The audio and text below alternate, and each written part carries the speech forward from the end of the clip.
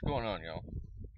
Okay, this this is my second run at this. Uh, first one, I was going back and forth between two tabs, and the camera shut off on me. So I just went ahead and made me some notes, and we're we're to try this again here. Wanted to cover some operating practices for you new guys and gals here.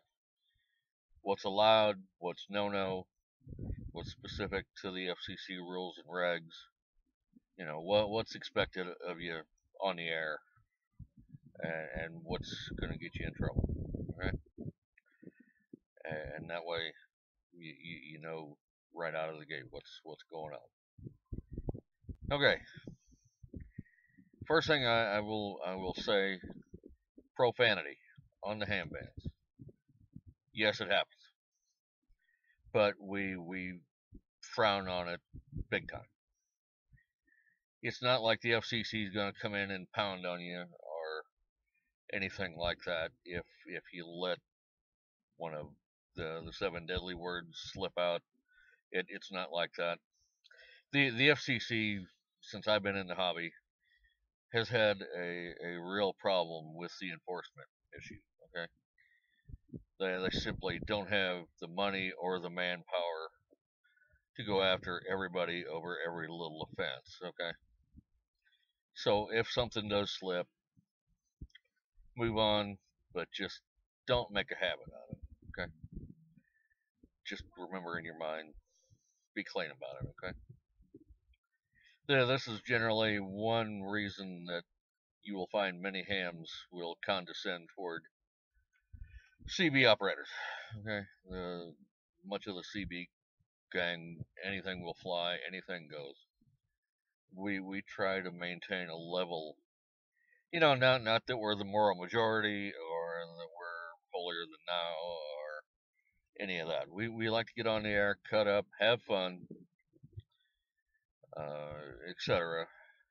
But we we like to leave the, the language at the door. Okay.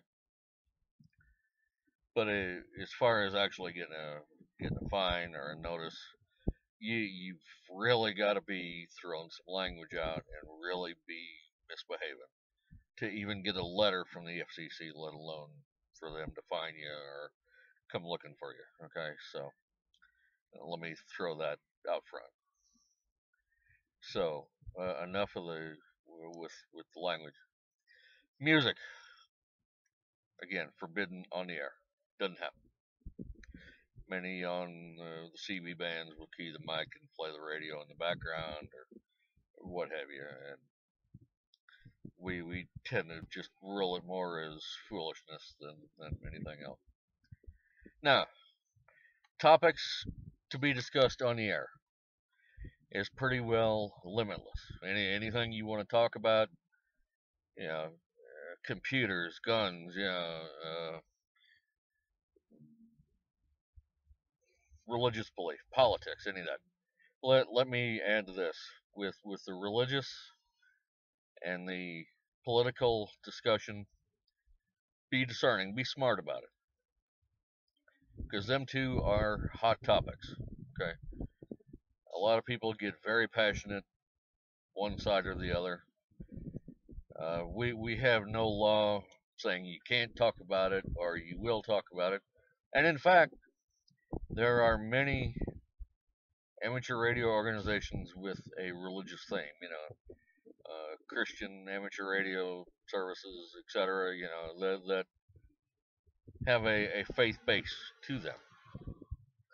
So it, it's not like those discussions are outlawed, and you there you you will find Bible studies on the air, etc.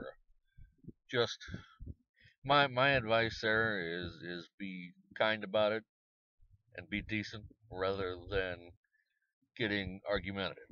Okay, if somebody's got a differing opinion, more power to them. You know, uh, better to be friendly about this than create a bunch of strife in the club or you know getting a bunch of people pissed off at you because you were a blowhard about the faith or you know, you Republicans or you Democrats or you know, you Christians or you know, what, whatever. You y'all get the point. What what I'm trying to say. Okay, so just you use your head with with that. Okay. Uh, sexual topics generally do not come up. Uh, okay, I mean, we we may get around here a little bit here and there, but we keep that pretty light. Okay, so I'm I'm just throwing that out there. Again, there there's no prohibition uh, or no regulation on that. Just again, use your head. Now, some more prohibit, uh, prohibited stuff versus what's allowed.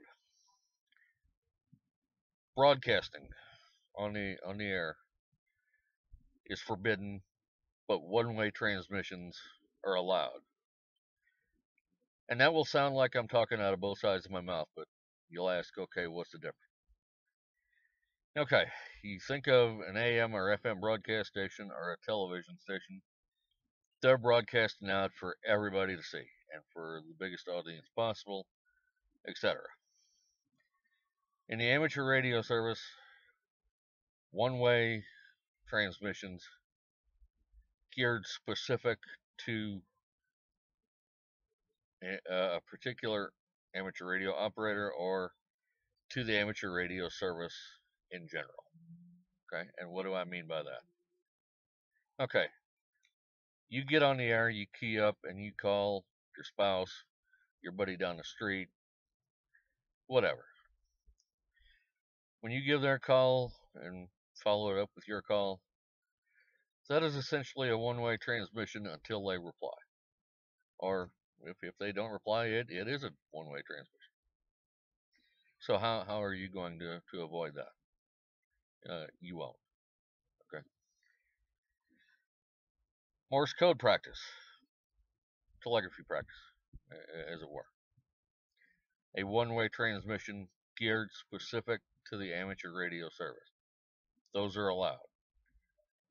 Uh, the the kicker with that is though if you're going to run code practice on the air, the schedule with which you do that does have to be announced, uh, time, date, frequency, etc. The American Radio Relay League is the best example of this. They have CW practice pretty regularly, and they post the their schedule of what frequencies they're going to be on, what times they're going to be on, what speeds they're going to be running and they'll even a lot of times put in what text they'll be using for the practice. They'll put that on their website as well as in the magazine they publish, which is called QST. The W1AW schedule is in there for the code practice. Let me see what else I've got in here. Uh, as far as one-way transmission. Uh, announcements from the radio club. Say you're having a net, your club net, on a particular weeknight. One way transmission. Hey, there's a club meeting Tuesday night at 8 o'clock. Or there's a ham fest over at the junior college on Saturday. Or there's a ham fest at the church on Sunday. Again, one way transmissions geared toward the amateur radio service. Uh, you know, specific to the amateur radio service, a one way transmission. Not geared toward the population as a whole. Uh, prohibited uh, transmission, of course, is malicious interference. If your neighbor down the street is, is on the air and you think he's a butthead and you want to try to jam him or tear him up or whatever, and, and it, it goes both ways. He's he's not allowed to do that to you. You're not allowed to do that to him. Again, not like the FCC is really going to do anything, but it, it's it is in the rule book and common curse. Okay. That that alludes to one of our operating practices too of running as little power uh, as you possibly can when, when you're on the air. You know, if, if you're on two meters and you're chit chatting with the locals, you really don't need a lot. If you start pumping things up and running higher power, odds are you're going to start interfering with the people that, that live close to you. So that's why the rule about turning back the power and, and not running all that is is there and, and the thought behind it. Okay. Uh, see what else have we got here. Uh, transmit 97.111, I wrote down. Transmissions necessary to meet essential communication needs and to facilitate relief action. What does that mean? Okay. Say you're driving down the road and you come up on a car wreck. Bad car wreck. Somebody's been hurt. No police, no ambulance, no emergency personnel on the scene you can get up on the local two meter repeater and say, you know, hey, anybody around? There's been a wreck down here. Somebody's been hurt. Can want to get the police, get an ambulance, get a fire truck, whatever down here. An example of again one way transmission that's allowed. You're gearing it towards somebody to get, as as the FCC rule calls it, to facilitate relief action, to get some help down there for people that have been injured, and this too apply would apply. Say uh, you've had a bad storm come through and the road's flooded down the way a little bit. You can get on there and say, "Hey, everybody, avoid Road 123 down here, just shy of this intersection. It's it's flooded." Or there's been a tornado roll through here. There's a tree across the road, you know, etc. Uh, again, one way to you know you're you're facilitating relief action you're you're telling the folks in the gang you know you're you're you're meeting essential communication needs you know you're you're telling them about a problem okay now going along with that uh, a lot of us you know y'all know what the weather has been doing lately uh, crazy stuff the winter storm down in Texas all 254 counties Hurricane Elsa just come up down in Florida. We're coming up in tornado season here in my part of the Midwest. Many repeaters have a function where they can link through to the local output of the NOAA Weather Radio, National Weather Service. Okay.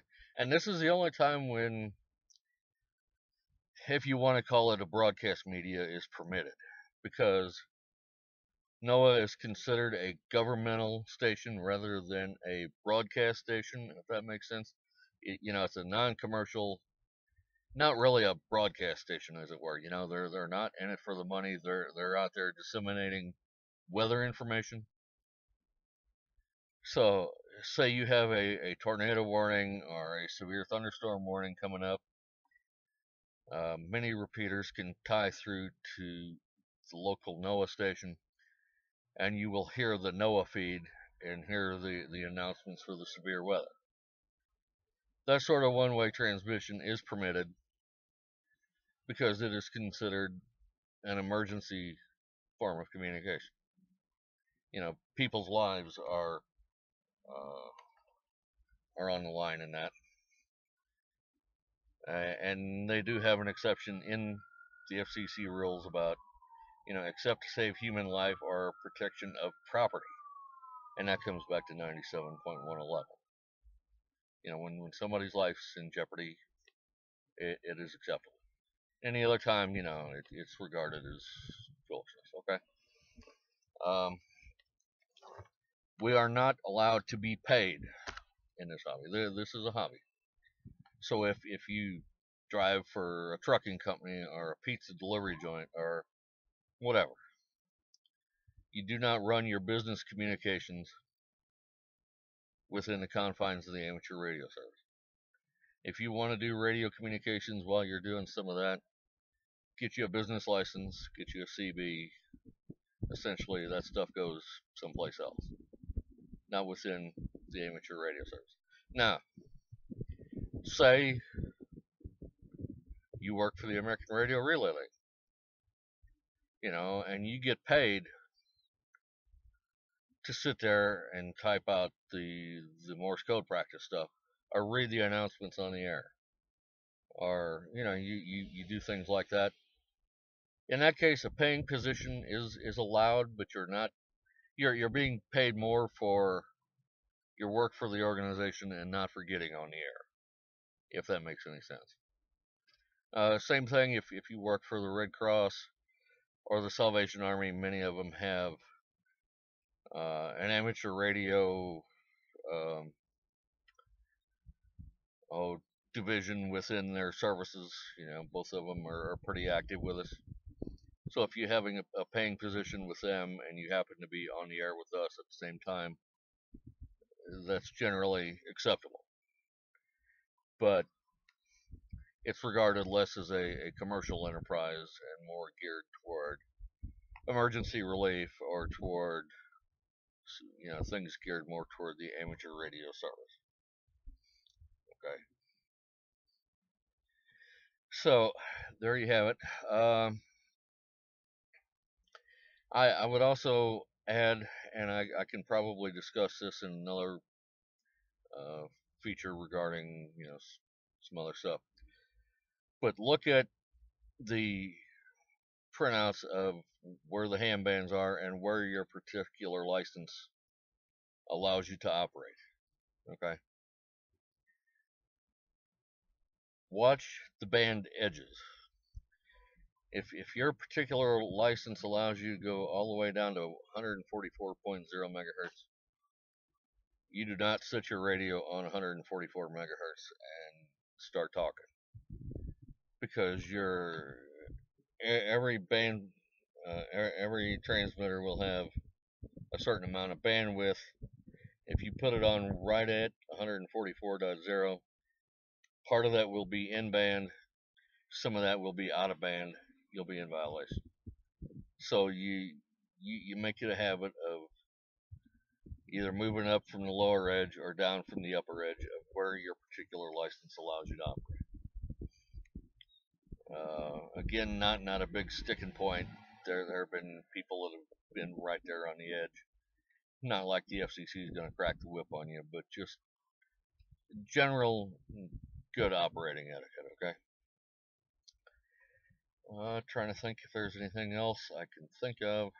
I, I think I've pretty well covered all that for now, but uh, again, you know, during non-emergency times, general chatter is fine. Uh, another point of operating etiquette too, if if you're on the repeater and it's busy and there's a bunch of people out there chitter chattering, and spouse comes in and wants to talk to you about something, take it off to another frequency to have your conversation.